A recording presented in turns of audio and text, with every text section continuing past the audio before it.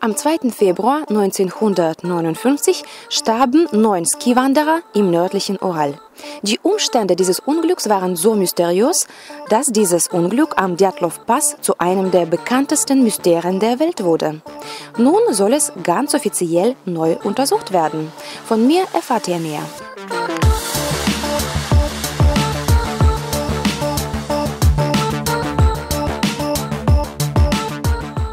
Hallo zu Russland Live.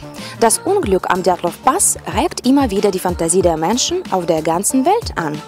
Auch die von euch, denn immer wenn wir ein Video mit Winter und Mystik machen, fragt irgendein Zuschauer, wo denn endlich unser Beitrag zum Djatlov Pass bleibt.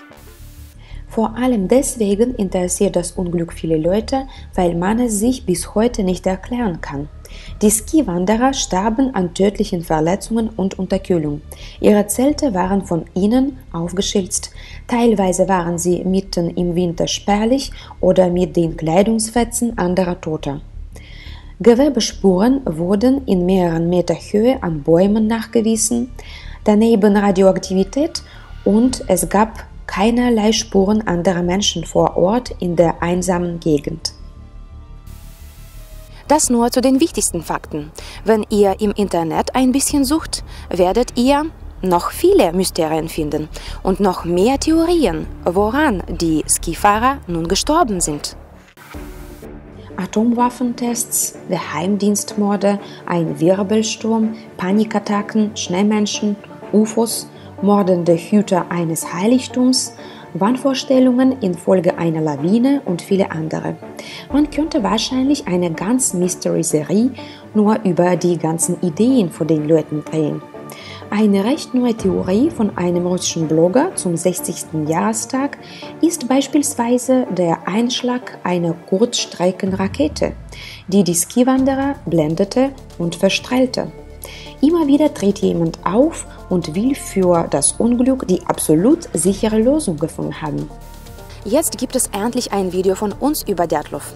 Denn es passiert etwas real, was auch in Russland auch die Mutmaßungen um das Unglück anheizt.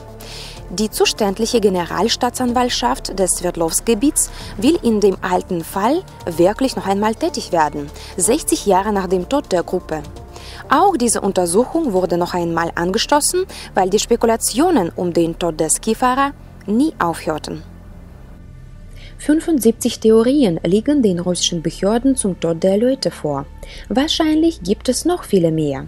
Überprüft werden sollen mit Hilfe von Experten nur die drei nach den bisherigen Ermittlungen der Behörden wahrscheinlichsten. Bei einer ersten Pressekonferenz in Jekaterinburg am Montag waren auf jeden Fall Journalisten aus ganz Russland und bis zum landesweiten Fernsehen da. Dieses brachte gleich eine Sondersendung mit Lügendetektortest von Verdächtigen. Die Experten werden in den Ural reisen und es wird sich um Rettungsfachleute, Meteorologen und Vermesser handeln. Die Reise ist nicht ganz ungefährlich. Von den Sensationstouristen dort sind bereits zwei vor Ort gestorben. Zur Verfügung stehen ihnen moderne Methoden des 21. Jahrhunderts, weshalb man sich nach 60 Jahren noch etwas davon verspricht.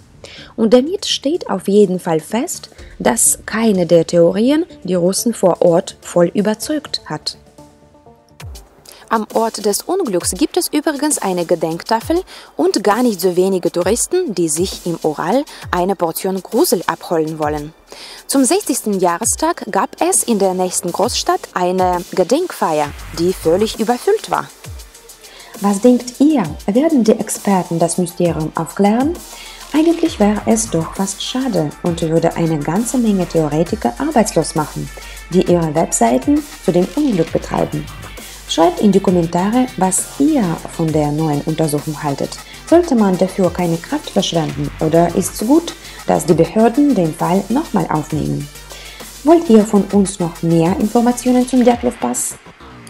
Mehr Videos mit mir und meiner Kollegin Anna Smirnova aus St. Petersburg gibt es immer mittwochs bei Russland TV in unserer Reihe Russland Live.